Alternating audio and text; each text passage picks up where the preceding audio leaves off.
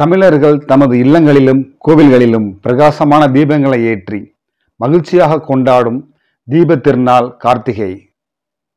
கார்த்திகை மாதம் பௌர்ணமி நாளும் கார்த்திகை நட்சத்திரமும் சேர்ந்த திருக்கார்த்திகை நாளில் இது கொண்டாடப்படுகிறது. கோவையில் உள்ள கோவை குளங்கள் பாதுகாப்பு அமைப்பினர் பேரூர் படித்துறையில் ஆயிரத்தி எட்டு விளக்குகளை ஏற்றி படித்துறையை ஜொலிக்கச் செய்தனர்.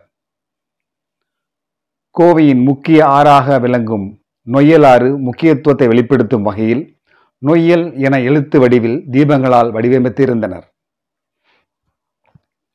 கோவை குளங்கள் பாதுகாப்பு அமைப்பினர் கடந்த பல வருடங்களாக கோவை மாவட்டத்தில் உள்ள நீர்நிலைகளை தூய்மைப்படுத்துவது ஆற்றங்கரை பகுதிகளில் மரம் நடுவது போன்ற பொதுநல செயல்களில் ஈடுபட்டு வருகின்றனர். கோயம்புத்தூரில் பார்த்திங்கன்னா நாங்கள் கடந்த ஏழு ஆண்டுகளாக நீர்நிலையில் பாதுகாக்கிற கலப்பணியில் ஈடுபட்டிருக்கோம்.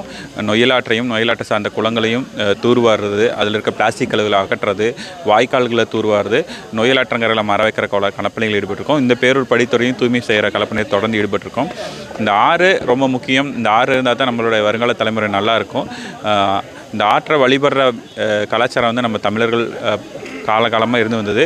இப்போ பார்த்திங்கன்னா இந்த நொயலாற்றங்கரையில் வந்துட்டு இந்த திருக்கார்த்திகை தீபம் அதன் முன்னிட்டு பேரூர் படித்துறையில் வந்து கார்த்திகை தீபங்கள் நிறைய வச்சு நீரை ஒரு ஆயிர ஆயிரத்துக்கு மேற்பட்ட தீபங்கள் வச்சுருக்கோம். இங்கே விளக்க வச்சு இன்றைக்கி ஒரு நொயலாற்றுக்கு ஒரு வழிபாடு செய்யணும் ஆறுகளை வழிபடும் முறைகள் பழங்காலம் தொட்டு இருந்து வருவதால் கார்த்திகை தீப திருநாளில் பேரூர் படித்துறையில் ஆயிரத்தி எட்டு விளக்குகளால் கார்த்திகை தீப விளக்குகளை ஏற்றி நொய்யலாற்றை மக்கள் வழிபட்டனர்.